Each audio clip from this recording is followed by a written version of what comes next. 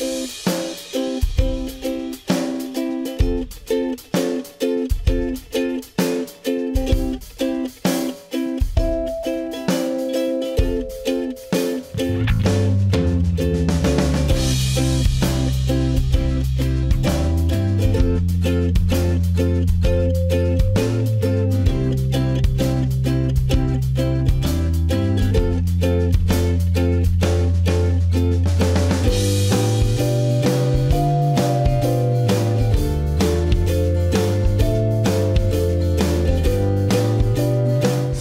ผมไอซินโดนครับเย้วันนี้นะครับผมจะมาระบายเครื่องดนตรี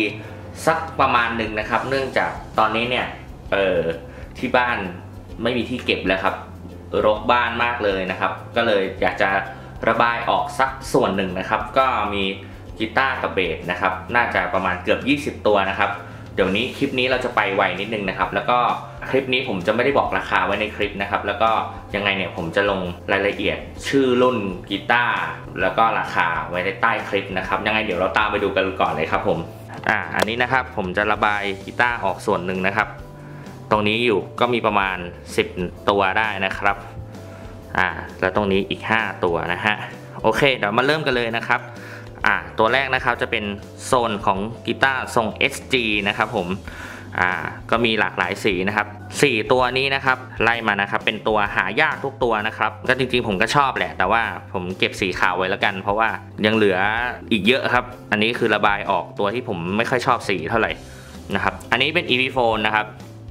เอ่อ SG 400 Pro 1966 นะครับอันนี้ไม่มีขายในประเทศไทยนะครับ อันนี้เหมือนแบบไปซื้อคนที่เขาหิ้วมาสั่งมานะครับ เป็นลูกบิดวินเทจนะครับ อันนี้หัวแบบ EP phone เดิมๆเลยกับรุ่นเก่านะครับ แล้วก็ปิกกาดเต็มนะฮะ แล้วก็ตัดคอยได้นะฮะ สภาพดีนะครับกีตาร์ผมสภาพดีทุกตัวนะครับ ไม่ต้องเป็นห่วงนะครับ เรื่องตำหนิหรือว่ารอยแตกอะไรอย่างเงี้ยนะครับ คือถ้าสภาพไม่ดีผมจะไม่ซื้อมาแน่นอนนะครับ อันนี้ผมซื้อมาเก็บนะครับ ส่วนใหญ่กีตาร์ผมเนี่ยจะซื้อมาดีดทีสองทีแล้วก็วางไว้เก็บนะครับ ซื้อเก็บนะครับ ไม่ได้ซื้อเล่นนะฮะอันนี้ก็จะเป็น EP phone นะครับ ตัวที่ 2 นะครับ EP phone SG Pro 1966 เหมือนกันนะครับ อันนี้เป็นปิกกาดเต็มนะครับ สีแดง ตัดสินกันคอยได้นะฮะ โอเค ตัวต่อมา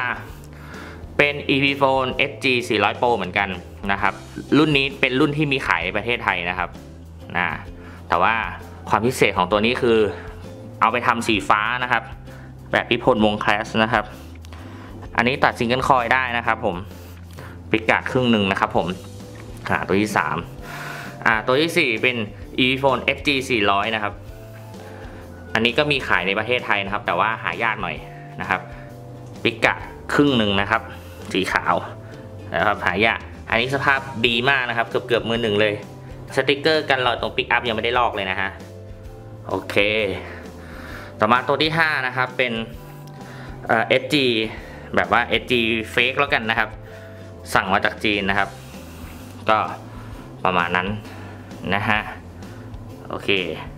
นี่เป็นเป็นแบบไม่มี pickguard นะครับ แล้วก็ปิกอัพโมมา เป็นของ Epiphone นะครับ ตัวนี้ทำมาเยอะครับทำเฟดทำลูกบิด คือซื้อไปใช้ได้แน่นอนครับ เล่นได้เลยนะครับ เดินสายนู่นนี่นั่นนะครับ เรียบร้อยไม่มีปัญหาอะไรแน่นอนครับ ใช้เล่นบ่อยอยู่เหมือนกันตัวนี้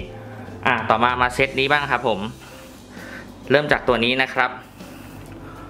ฟามุดนะครับฟามุดไดโบดีซีรีส์นะครับ สภาพดีมากสวยมากนะครับ สีฟ้า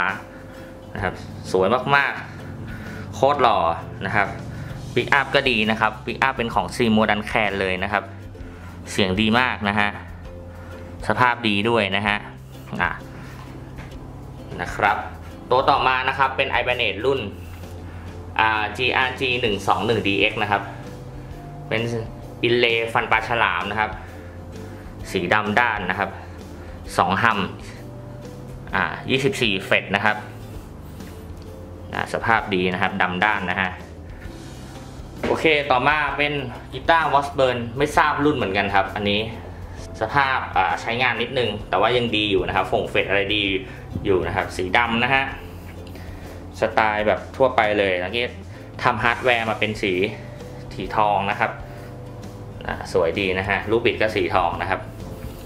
ต่อมาเป็น Squier Bullet Mustang นะครับอ่าเป็นทรง Mustang นะครับสองปิกอัพสอง humbucking นะครับ เล่นร็อกสบายนะฮะ Mustang โอเค ต่อมาเป็นกีตาร์ราคาย่อมเยาครับ Century รุ่น CE 384นะฮะอ่า Century นี่ก็เป็นกีตาร์ที่โด่งดังในราคาย่อมเยานะครับ ถือว่าขายได้ดีมากแล้วก็เป็นแบรนด์ต้นๆเลยนะครับ ของกีตาร์ราคาแบบไม่แพงมากนะครับ งานดีครับ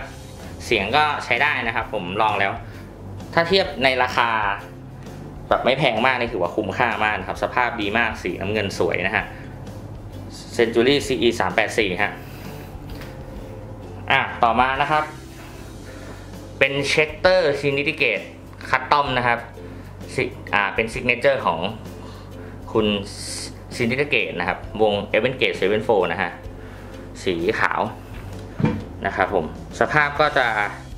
ใช้งานใช้งานหน่อยนะครับ แต่ว่าเล่นได้ปกติเลยนะครับ อ่า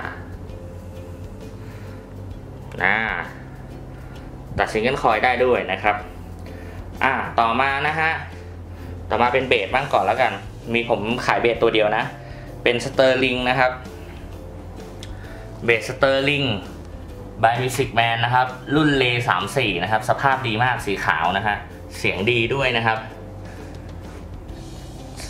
เสียดายเหมือนกันตัวนี้นะครับแต่ว่าไม่ได้ใช้ ซื้อมาไม่เคยเอาไปเล่นที่ไหนเลยนะฮะไม่เคยอัดคลิปด้วยเล่นที่บ้านอย่างเดียวนะครับ โอเค ต่อมานะครับเป็นกีตาร์โปร่งนะครับขายโปร่งบ้างนะครับ อันนี้เป็นโปร่งไฟฟ้านะฮะรุ่นเอ่อ EJ 200 SCE นะครับฮาร์ดแวร์เป็นสีทองนะ inlay สวยครับ เป็นสี natural สีไม้นะฮะ สภาพดีนะครับ ตัวนี้ โอเค อ่าตัวนี้เปลี่ยนปิกอัพไปนะฮะ เปลี่ยนปิกอัพเป็น Fishman ตัวนี้นะฮะบอกไว้ก่อนนะครับอะโอเค ต่อมารุ่นเดิมครับ Epiphone EJ 200 SCE นะครับ